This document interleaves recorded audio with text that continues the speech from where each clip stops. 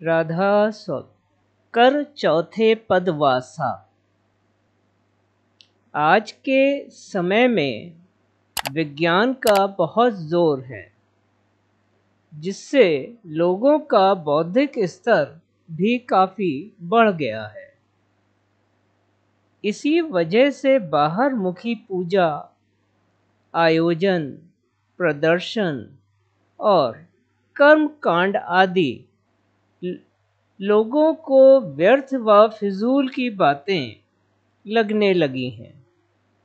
और यह सही भी है, क्योंकि ये सब बातें नकल की हैं और इनसे कुछ भी रूहानी फ़ायदा नहीं हो सकता।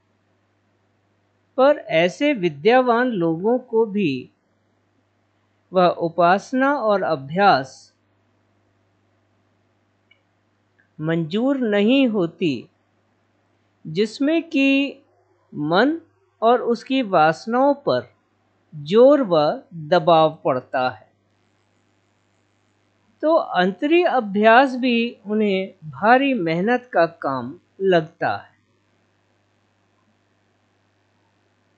सभी विद्या के मतों के ज्ञानवान पढ़ने और पढ़ाने को ही पसंद करते हैं।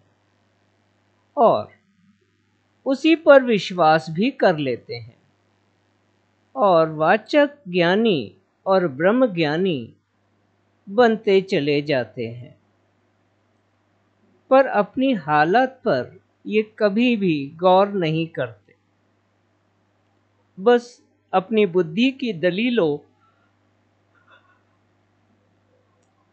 से ही नादान, नासमझ और अनजान लोगों की गुटबंदी और फिर अपने हिसाब से ही उन्हें चलाने में लग जाते हैं।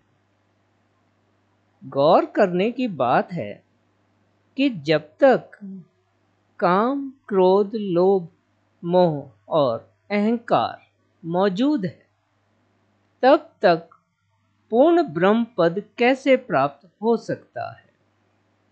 अगर दो चार ज्ञान के शास्त्र पढ़कर रट लेने का नाम ही ब्रह्म ज्ञान है तो शहर की हर एक गली में तीन ब्रह्म ज्ञानी तो अवश्य ही मिल जाएँगे।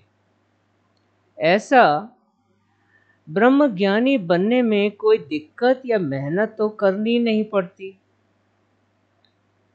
जो भी थोड़ा बहुत पढ़ा लिखा व्यक्ति है, वह जीवन में यदि कुछ ना भी बन सका तो कथित ब्रह्मवाचक ज्ञानी तो बन ही सकता है। वास्तविक ज्ञान उसे कहते हैं, जबकि ब्रह्म के साक्षात दर्शन हो जाए। उसका रस व आनंद ऐसा है कि गृहस्थ आश्रम क्या? जीव दुनिया की हुकूमत और दौलत को भी ठोकर मार देता है। और ऐसा ही होता है, जिसे अंतर का यह रस मिल जाता है। संतों के मत में ब्रह्म नाम ईश्वर के लक्ष्य स्वरूप का है। और यह लक्ष्य स्वरूप ही माया सबल है। पर वेदांती ब्रह्म के लक्ष्य स्वरूप को शुद्ध और ईश्वर स्वरूप को वाच और माया सबल कहते हैं। पर संत जो कि इन दोनों ही स्वरूपों के पार पहुँचते हैं, वे कहते हैं कि ब्रह्म के स्वरूप यानी लक्ष्य व वाच, दोनों ही माया सबल हैं।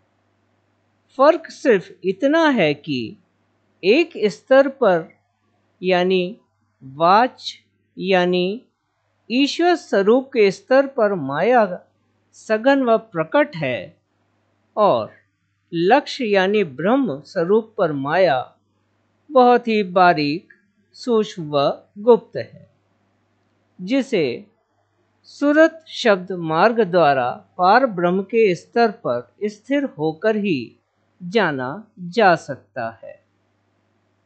राधा स्वामी।